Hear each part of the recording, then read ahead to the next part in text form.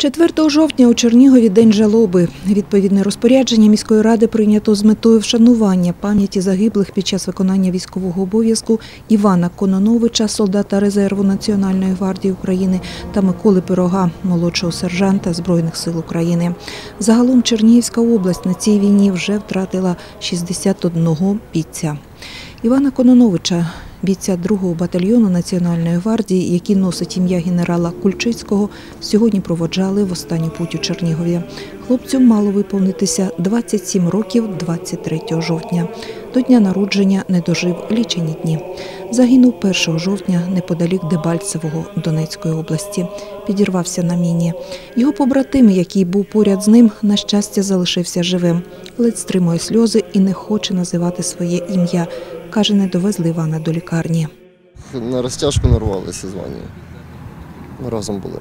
У нього позивний псих.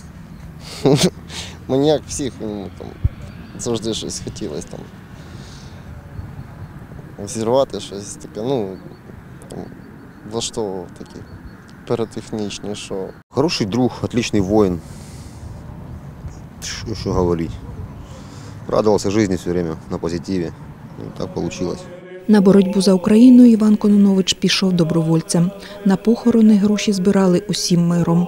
Сім'я незаможна. З рідних у нього залишилися лише брат та батько-інвалід.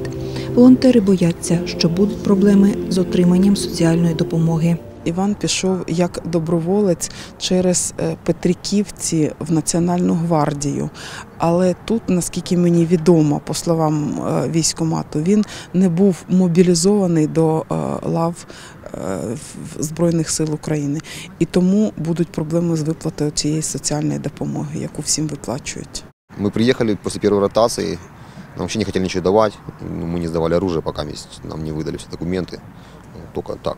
А по-другому не хотят. Відспівували героя у Катерининській церкві. Прийшли звичайні люди, рідні, друзі та однокласники. Навчався Іван у 22-му Чернігівському ліцеї. Не встиг одружитися. уходят самые лучшие. Уходят те патриоты, которые э, искренне верят в будущее процветающей Украины.